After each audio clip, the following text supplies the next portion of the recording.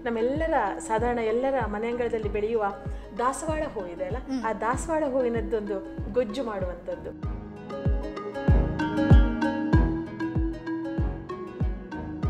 ದೇವರ ಪೂಜೆಗೆ ಮಾತ್ರ ಅಲ್ಲ ನೋಡ್ಲಿಕ್ಕೆ ಚಂದ ಮಾತ್ರ ಅಲ್ಲ. ಇದರಿಂದ ನಾವು ಅಡುಗೆ ಕೂಡ ಅಡುಗೆ ಕೂಡ ಮಾಡಬಹುದು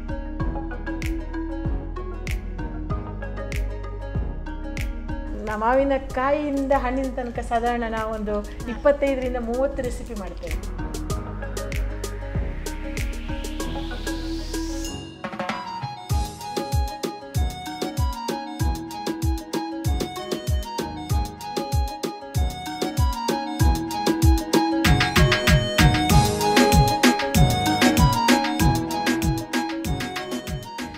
ಟೈಮ್ ಈ ಕಾರ್ಯಕ್ರಮದ ಸಹ ಪ್ರಾಯೋಜಕರು Satyanath stores Brahmavar, Bhima jewellers GM Vidyaniketana public school Brahmavar ಮತ್ತು Girija health care and surgicals.